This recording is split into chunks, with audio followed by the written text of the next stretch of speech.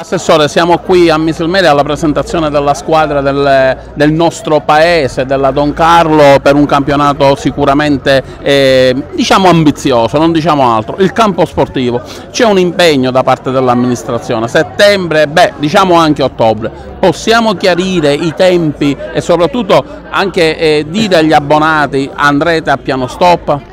Ma sicuramente gli abbonati possono stare sereni perché andranno a piano stoppa, la Don Carlo andrà a piano stoppa come le società locali di Misilmeri che fanno calcio andranno a piano stoppa.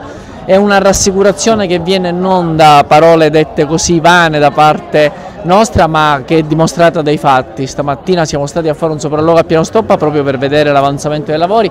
Devo dire che già si sta lavorando sul campo, sul manto erboso, quindi siamo sicuri di poter ridare per il prossimo campionato tra settembre e ottobre l'impianto sportivo di Piano Stoppa alle nostre società locali, alla Don Carlo Misilmeri che gioca il campionato di eccellenza, ma anche alle altre società che su quel campo potranno svolgere l'attività calcistica che in, questo, in questi anni, da quando abbiamo iniziato, da quando c'è stata la chiusura del campo, hanno dovuto svolgere fuori da quell'impianto.